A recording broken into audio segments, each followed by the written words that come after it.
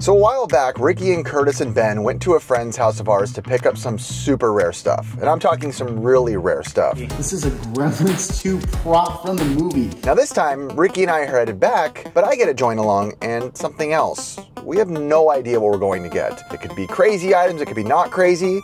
But you know us. There's only one way to find out, to head down and get out there.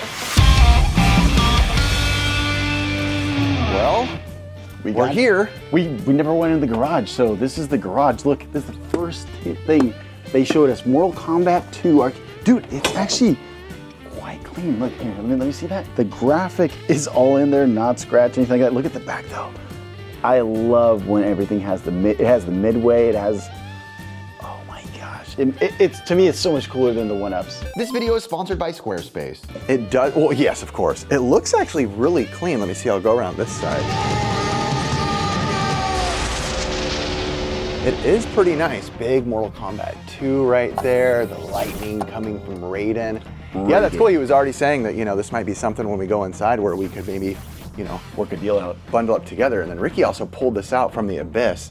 I- we might have to add that to the pile. Is it cool? Yeah, Nodus, dude. Santa Monica, just looking beautiful. What a good shape. This would be, I'm always loving putting them behind the podcast studio for the people to enjoy. So, Ricky, We love skateboards. not a bad little start. Mhm. You think we can put this on the SoCal account? What? What? Can we put all this on the SoCal account? Sorry, Chris. That's So after taking a peek inside of what's in the garage, it's a good start with the Mortal Kombat cab and the skateboard, but now we gotta go check out what's inside the house. Are you ready to rock? Sure. yes. Oh, you crack me up. So dumb. You see this? What? There's a, a bear right there. You see that? Yo. An actual bear. Hey, you know what else? Look What? at this is a case, the Black Eyed Peas tour case right there. Oh, that's cool. Look at that. It's their touring case. I wonder what piece of equipment went in there. I'm guessing Fergie's underwear.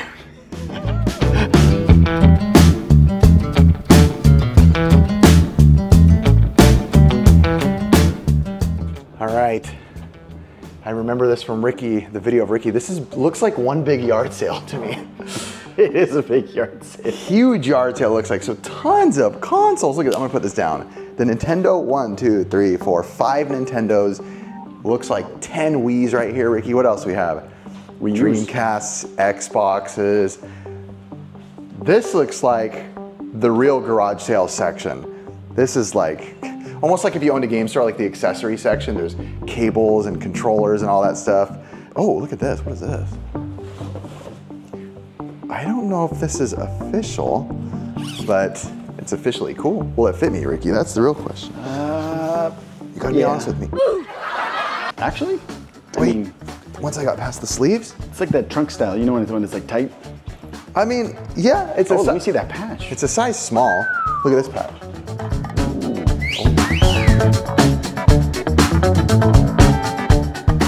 Here's where the interesting stuff comes into play. What, will you show me this? Did you see this last time or no? Yeah, but he wasn't selling it. But now he is. Now he is. I was, I was like, What?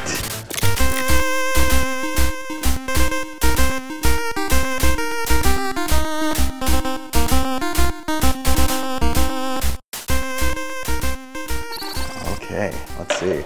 so it's it's all in there. Last, if I remember it right, yep, it's all in there. So It's CD very- Bonks, and does that go for like the same range as the Bonks for Nintendo? No, no, no, no. it doesn't Okay. go- It's not that crazy, but it's still pretty good. The box is so cool. It's crazy cool. The art style's great on that. And next there's like some like homebrews. I know they're just homebrews, but it's kind of cool. Like Devil World is one of the more famously known games. And then you have Splatterhouse, which by the way, these games did come out in Japan under the Famicom, but just to have them on NES carts is awesome. I love these acrylic cases too, just to kind of have, this is DuckTales here, looks like with some accessories. Oh, Ricky! What? I know it sounds dumb. We need that. We don't even have balloon fight in the set. so yeah, that's hilarious. As deep as we are in the set, we don't have a balloon fight. So if we end up buying all this stuff, uh, this will be this will add one game to our set at least.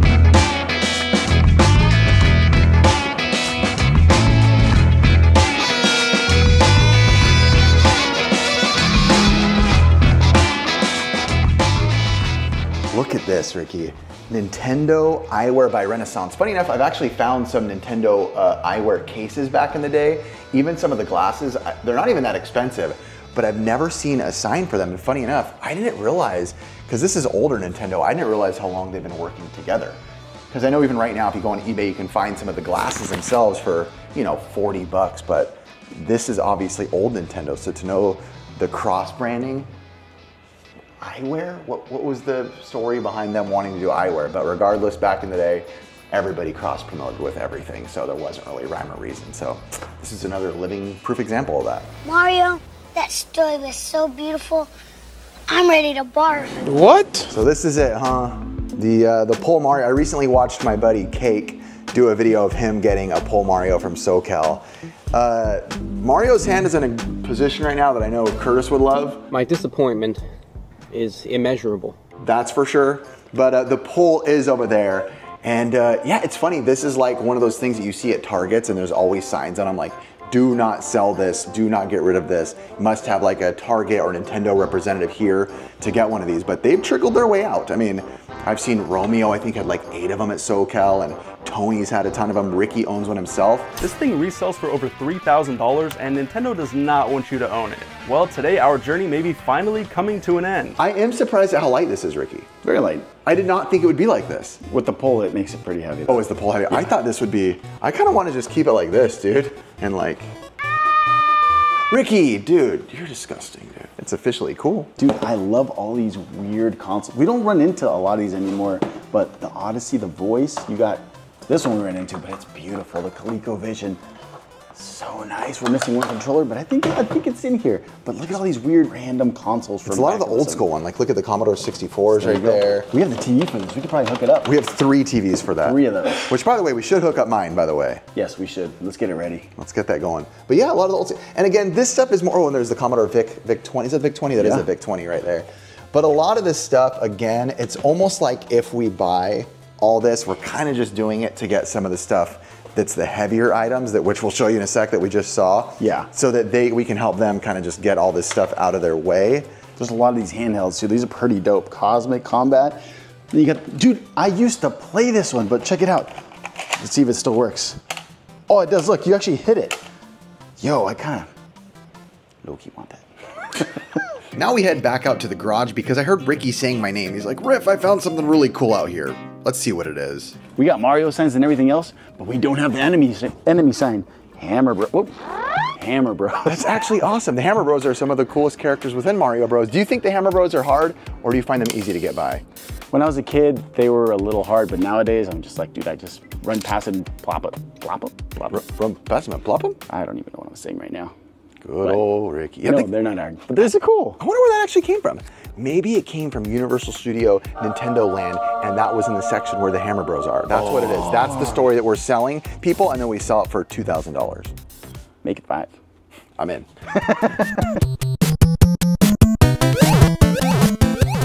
Now it's time to go back into the house because Ricky said this is like the creme de la creme. This is the cat's meow. This is the reason you drive down this far to find something this cool. I gotta see this. Oh boy. I always want this thing, but I just, That's a hefty item. it's a very hefty item. And I know that is very, very expensive. 10 years of service, Mario statue. And it's crazy. Sometimes we've even noticed, you know, we you own some of the bigger Mario statues. Yeah. Some of the smaller ones are the ones that are worth the big money right now. yeah, they're harder to find. This is the only item in the lot that I'm like, I don't know if we can get this. Payment plan? oh gosh. Dental plan. Lisa needs braces. Dental plan. Lisa needs braces. Wait, that doesn't go.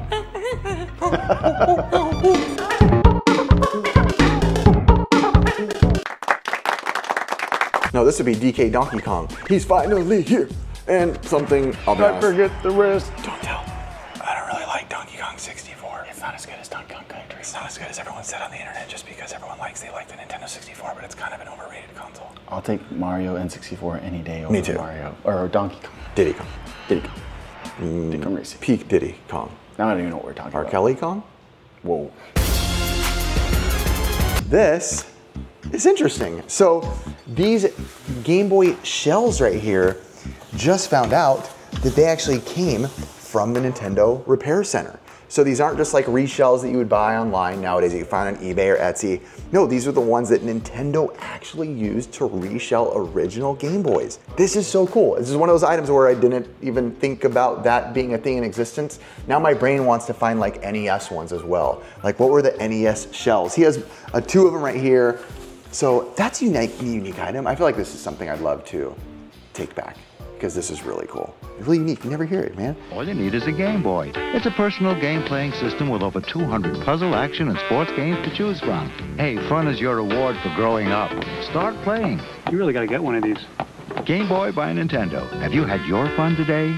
So we kind of found a box for little Samson. I gotta press pause really quick right here to tell you guys about our longest running sponsor, Squarespace. I love their videos collection. You can upload video content, organize your video library, and showcase your content in beautiful video pages, or their online stores. Sell your products and services with an online store. Whether you sell physical goods, digital content, or services, Squarespace has the tools you need to start selling online. I love me some analytics, and with Squarespace, you can measure your end-to-end online performance with powerful website and seller analytics. Get insights on top traffic sources, understand how your reach is growing, and learn where to focus new engagement. It's all the data you need to scale your brand or business, fully integrated and clearly displayed. Head down to squarespace.com for a free trial, and when you're ready to launch, go to squarespace.com slash pixelgamesquad to save 10% off your first purchase of a website or a domain. It's always been wild to me that Little Samson has always been like the it game. It's always been the game within the Nintendo hunting scene that everyone talks about. When anyone's going for a full set, even though there's games that are much more expensive, for some reason, when someone says, Hey, I'm collecting full NES set, they always say, Hey, you got Little Samson? I love Little Samson, and I agree it should be one of the it games, but it's just always kind of funny to me. This is a cut box. A cut box video rental stores obviously used to do that. The funny thing on here is this is signed. He had it signed way back in the day. You know how I know it was signed way back in the day? Because I was like, he's like, yeah, I think you signed it. I was like, no, I didn't. I don't see my name signature anywhere. This was my old signature on the old channel because obviously all my friends call me Riff now. The homies call me Riff, and I don't sign it my old name anymore. Gabo's on here, and funny enough, he said back in the day when Gabo signed it, he wasn't exactly sure who Gabo was and why he's signing it, but now he knows that Gabo is obviously a part of the show, so that's just really funny. So Ricky, if we buy this, do we have a little Samson box? I don't know. I could always like maybe try. I bet you we could find a company who could make cardboard perfectly to fill the rest of it. Maybe like 80% true box. I still remember saying that I don't remember. back in this. Portland. I have zero recollection.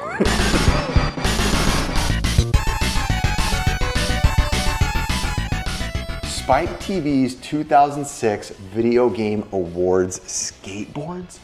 What? What? 2006 Video Game Awards. This is it. Save the date, Friday, December 8th. The Spike, this is so cool. Obviously, it mixes skateboarding. Scary enough, people, we are getting old. 2006 is vintage at this point. You know what I have to do though? Right now, pause the camera. I have to see who won. I have to see who won this year, this award. That will determine if these are much cooler or not. Let's find out. After these messages, we'll be right back. So, the winner for the game of the year, I know there is so much love for this game. I'm ready for the comments. Go ahead, chat. Go ahead. The winner was Elder Scrolls Oblivion. Literally a series I just don't care about in any way, shape, or form. But Critics' Choice winner, Legend of Zelda Twilight Princess. Best original score, uh, best handheld game, New Super Mario Bros. I'll take that. And best game on a movie or TV show, Lego Star Wars 2. Dare I say, uh, 2006, there's some fun ones, but overall, uh, those boards are cool, but just became this much less cool. Loser! You're a loser! You make me sick! So we, we took a detour to his art room, and we're not going to pan around the whole room because we don't necessarily know if he wants us to show everything. But these are all vintage and super spicy. It's all like King Kong, Ultraman, Godzilla. Oh my gosh, these are absolutely beautiful. And I think these might be going somewhere really special soon, which I don't think I'm at will to say. But my gosh, Godzilla versus the thing. That one This one's amazing. awesome. Oh, Dude. Yeah, these are beautiful. And he has a ton of skateboards, man. Look at that. Oh my gosh. Even these Mars Attack ones. yo, look at oh, Buff Godzilla. Buff Godzilla. Dude, he's. I love it too much. It's still going. Oh. Well, too many spicy meatballs in one place.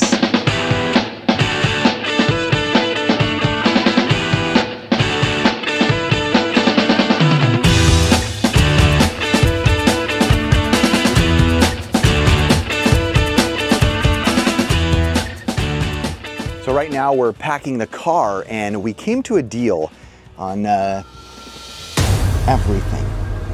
Like everything. So again, we're just in the early stages of loading the car and I have to say, we didn't want the deal public with numbers and all that. The seller actually wasn't a big fan of that either, so we wanted to fully respect it as far as numbers go. So I'm awkwardly holding another item I bought on the way out along with everything else. I got this beautiful first four Mario statue. I thought it'd be perfect, perfect for the podcast studio. Uh, these are valuable, uh, hard to find, and it's just really clean, and it's another piece I had to pick up. What we didn't mention too is that it's actually 106 degrees right now, so uh, the heat is uh, coming in pretty strong for this, but hey, we're built for it.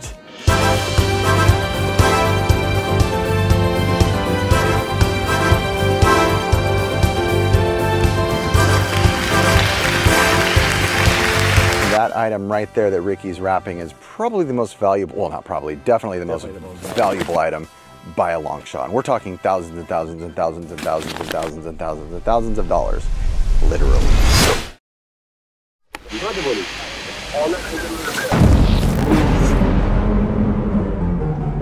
Long time to load up everything. It's super hot, but now we're going back home. And I have to say, the art of this, what we've learned is sometimes it's all about the art of the deal. What I mean by that is Ricky and I were willing to take on so much stuff that we honestly didn't want in order to get those banger items that we really did want. Ricky, what's the item that you had to have?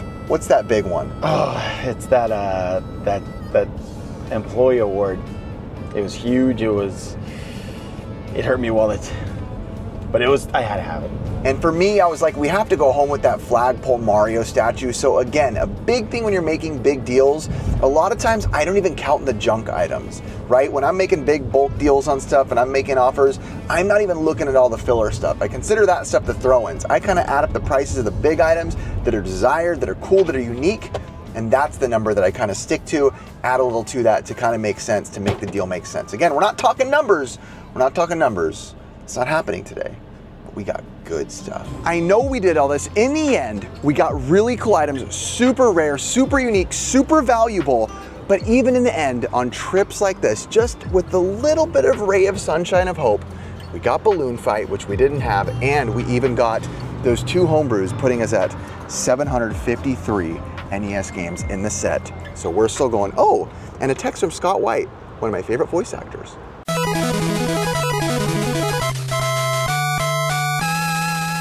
If you've been hunting for retro video games or even treasures for any long amount of time at all, you know sometimes it can get stale.